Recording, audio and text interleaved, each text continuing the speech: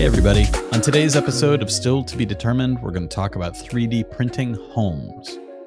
Are they dirt cheap or are they dirt expensive?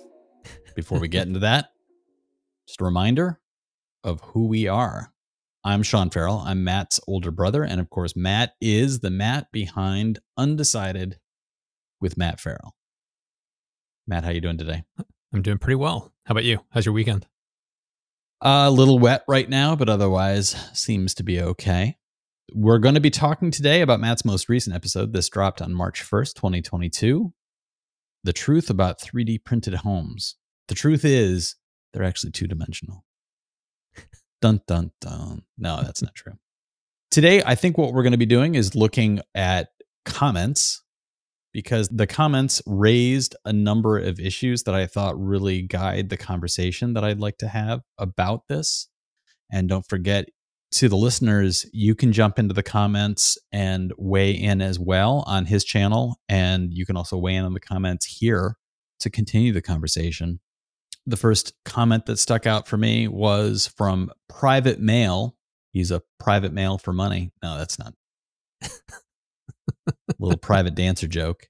Private writes, I personally like the brick option more. He's talking about things that you've referred to in previous episodes on your channel. Most recently, we talked about hemp bricks.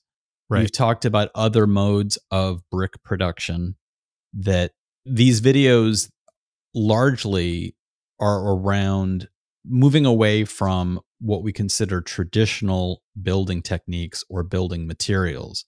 Yep. So what we're talking about in some cases is a change in technique like this one. You're yes. still using a concrete. You're using some kind of slurry which is going to be similar to other buildings.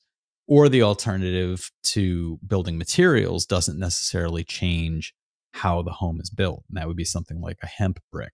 Right. So when private refers to the molded brick. He writes molded interlocking hempcrete or compressed earth blocks, easy to mix with traditional construction, easy to assemble, good insulation and fire resistance. Some options can be manufactured on site.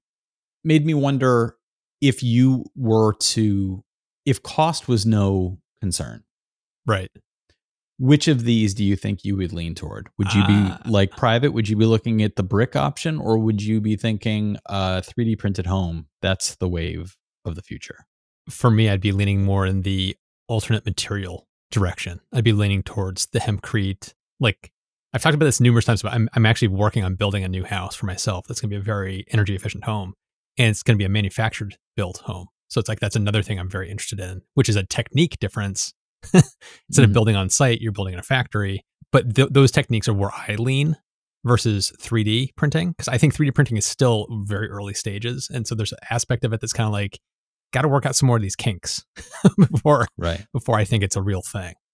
Do you think that one of the concerns about 3D printed homes is the effect that it has on the shape of the space created? We, I think, culturally, are inclined to think of our living space in forms of right angles.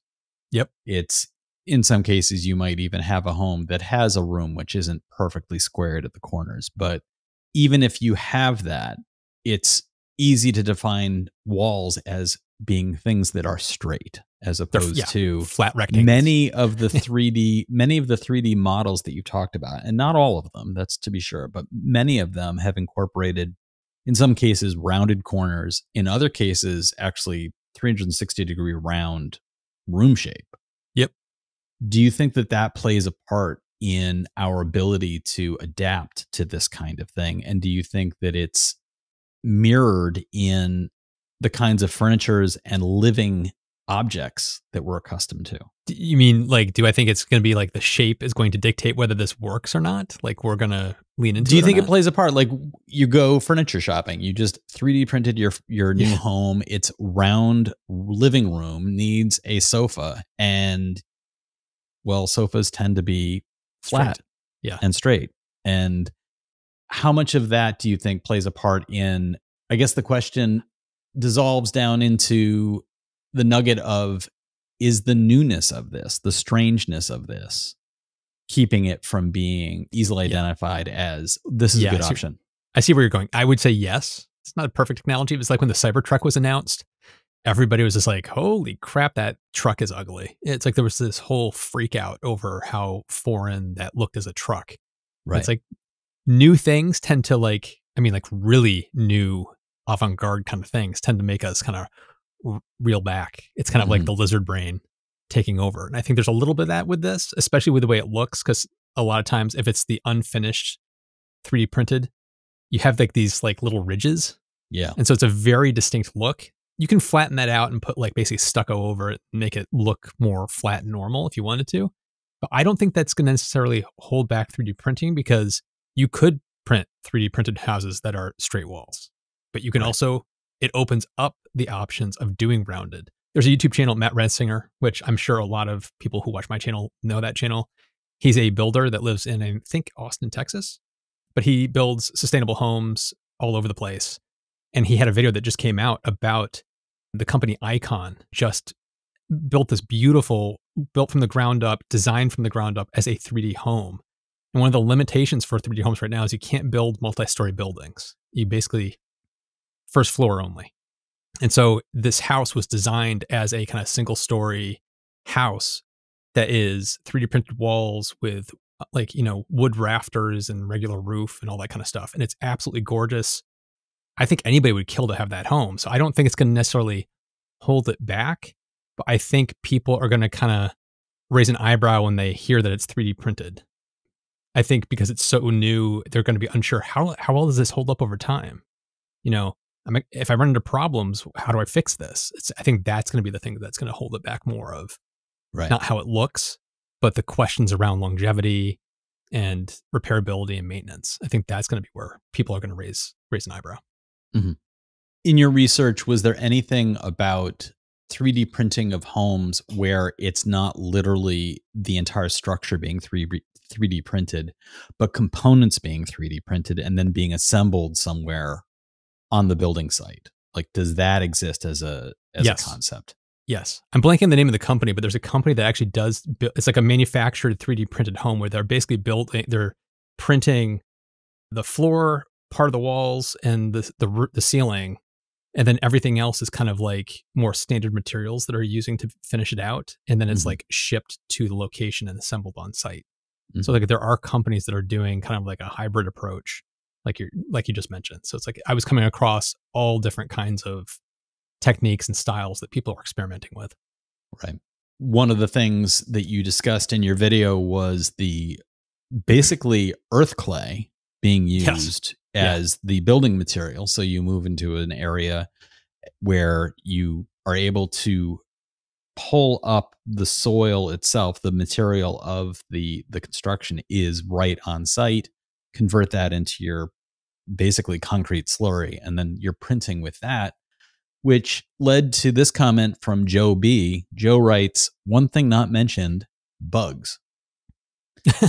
I lived in a mud brick house in Australia for 16 years, and borer bugs were a huge, huge problem. Had to seal every millimeter of the bricks with a thick layer of plastic paint, or the whole thing would have been a big nest for varieties of bees and wasps. The mud brick has some cement in it, so it was harder than just dried clay, but the bugs loved it. hmm Interesting take.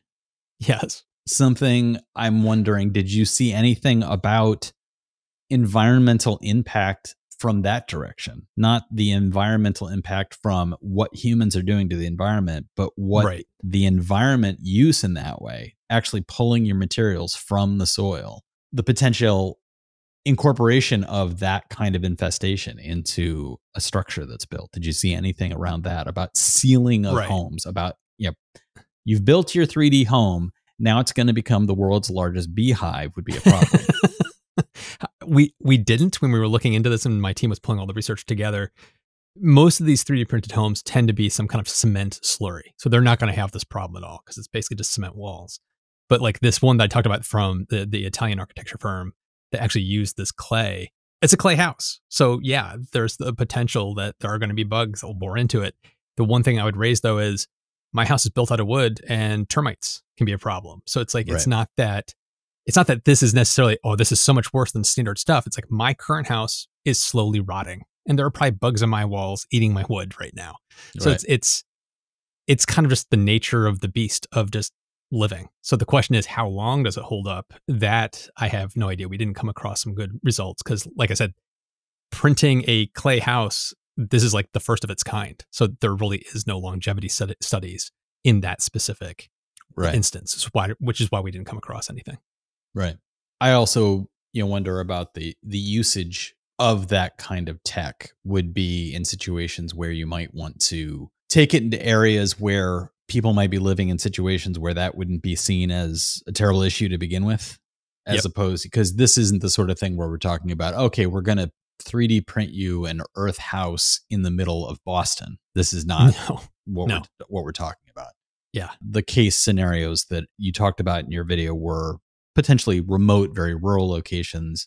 And I can imagine that the usage of those houses, that they would have a finite amount of time to them as well. Wouldn't Mhm. they be potentially something that would be it's constructed and then within a few years it might be dilapidated to the point where you just 3D print another one? Or do you think Mm. that these are foreseen as being construction that would withstand time? They should be able to withstand time. It's like how long I don't know, but everything that we were saying was houses like the the mud mud brick or clay. It's like you can build houses like that that will stand the test of time, but it also depends on where are you building this house? What kind of weather and environment is it going to be subjected to? So it's not like a one size fits all thing. Right. There was also this comment from Calisthenes who wrote, So glad to finally see a balanced presentation on 3D printed housing.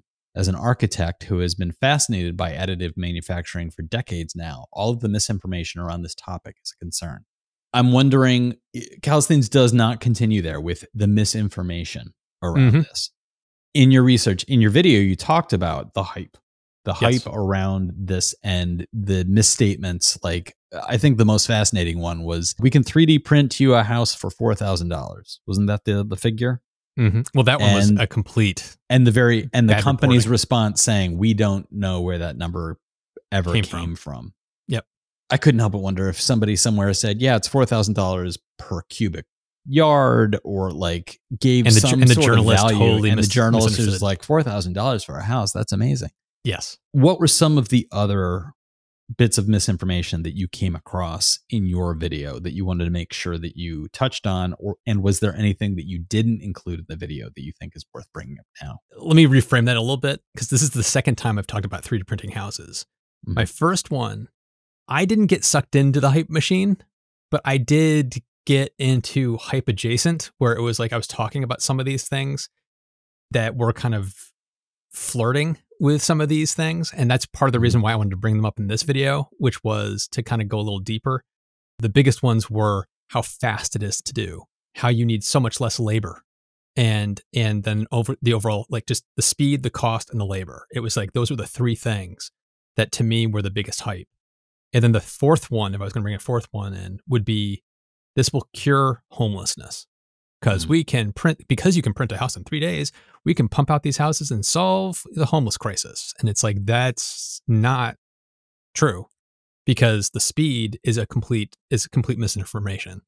As i pointed out it's because these are the walls. This is not the floor. This is not the ceiling. This is not a multi-story building. This is not putting in the electrical the plumbing all it's like that still takes a lot of labor to do Right. all that stuff so yeah you can basically build the foundation and the the walls crazy fast and at an affordable price but then you still have all the labor and the requirements and everything else that goes into everything else of the building so it's not you're not making a house in three days you're making a portion of the house in three days or Right. four days or whatever it is so that's where the biggest misinformation comes from and the whole idea that you'd be able to solve the homeless crisis when when you actually look at the number of people that don't have proper housing as i brought up in the video it's an insurmountable number yeah. that we have to hit. So it's those are the things that are getting way overhyped. This comment from Calisthenes also spurred on some conversation in response to their comment, which Mhm. somebody asked the question Do you think we'll ever get a printed high rise? To which somebody responded Germany is already doing multi level 3D printing, and their next certification is for high rises. So, Hmm. yes. And I wondered, did you have any experience with coming across that information or anything similar to that? Or is this news to you? That's news to me because everything I've found is that nobody, basically nobody, has authorized multi story buildings for actual use.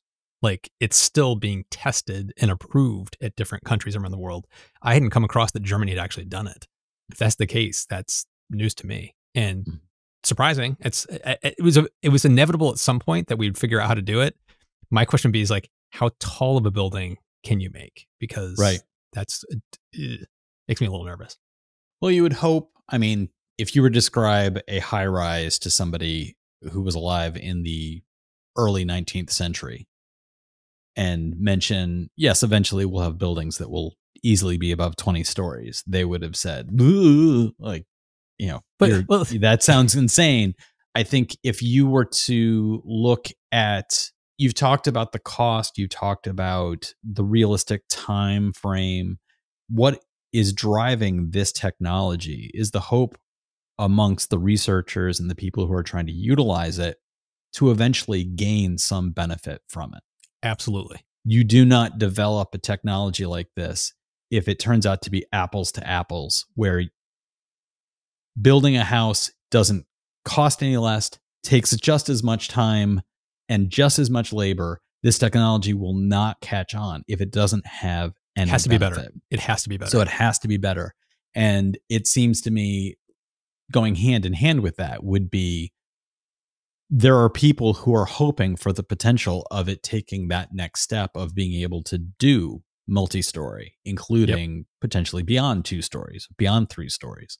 So I think that this is one of those moments where you and I are looking at it and saying, like, I can't imagine that. But 100 years from now, it's it may be the norm. it may be the norm that you have a giant structure that is effectively a self-growing 3D printed building. Well, one of the reasons I keep talking about 3D printing in a bunch of different videos, for houses to semiconductors and things like that, I'm fascinated by additive manufacturing because the more I learn about it, the more I realize this is the future of everything. Like we, can, it is, we're heading towards the Star Trek future where you basically have a machine, you push a button, and it makes five different things without having to change tooling and the machinery. The machine just prints whatever you need, and uh, that we're heading towards that really fast and the fact that there's a company that's making rockets that are going to fly to space. They are printing 3D rockets with basically 3D printing metal, which is it makes my brain hurt. It's like we can literally print anything, and we're learning how to do that, and we're getting Mhm. better and better at it. So I have no doubt in 100 years there are going to be plenty of buildings, skyscrapers, all that kind of stuff. There'll be parts of it will be 3D printed, or it'll be fully 3D printed, or something like that Mhm. but it's just one of those when I go yee about the, the the Germany building a multi.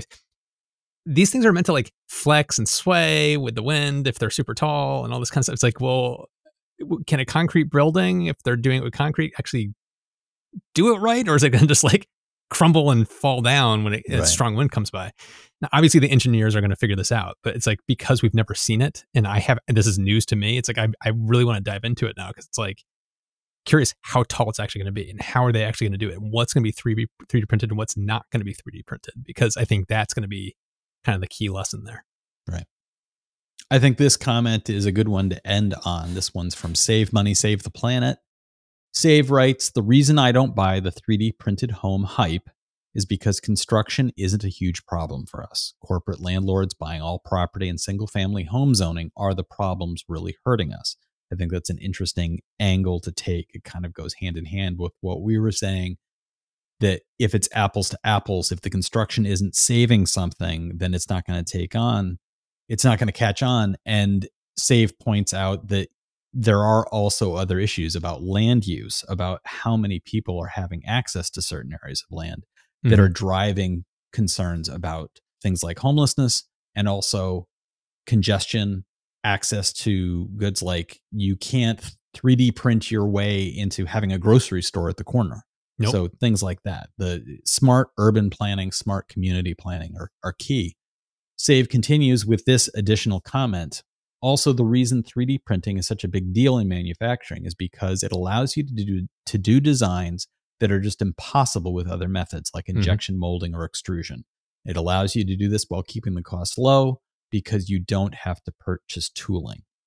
3D printed homes aren't pushing against these issues, so they're unable to get the same benefits. I think that's a pretty good perspective on what we've been talking about. There has to be a development of the technology potentially at some point to say, oh, you really are saving on costs from labor or time or overall expense. Until yep. that happens, this is just another parallel mode of building construction. Right. And, and w- when I brought up the the myth of the speed because you can only print the walls and everything else is normal and it still takes that labor. This is like it's not like there's a technology that's going to come in and solve from A to Z of building a home. This is solving A to C and the rest right. we'll have to solve. It's like if this saves time and labor on this specific portion of building a house, the construction industry will probably look at that as a win because it's going to save time and money. Mm-hmm. So it's if that actually does pan out, even though it's only one portion of the home build, I think we're going to see more and more and more of this. So I do agree with his comment, but I think there's a little nuance to it. It's not that it has to solve all of the house build. It just has to solve the part that is meant to be solved for. Like what what is it what is it trying to solve? What is its purpose? I agree. It seems very much like the conversation is one around what is happening right now and what would have to happen for this to be the yep. next thing. Yep. And from where I'm sitting, it looks like we're still too early days to say, yeah. oh, clearly we've got an opportunity here. But it's fascinating to see the research and the experimentation that's going on with this, the people who are really trying to push this in new directions and take a technology which, when it was first introduced, it seemed very much like, oh, 3D printing, it'll be small little doodads. Yeah, 3D printed little doodads will be great. And now we're actually talking about 3D printing homes, which. Or skyscrapers. yeah, or skyscrapers, which to my old brain just says? Yeah. So, listeners, let us know what you think. Do you agree that this is too early to tell, or have you weighed in and said, "Nope, this isn't it. This is this just isn't going to take off"? Let us know in the comments, or you can reach out through the contact information in the podcast description. Don't forget, if you'd like to support the show, you can leave a review on Apple or Google or Spotify, wherever it is that you're listening to us. You can also do it on YouTube and if you'd like to more directly support us, you can go to stilltbd.fm, click on the Become Supporter button, and then throw coins at our heads. We appreciate it. Thank you so much for listening or watching, and we'll see you in the next one.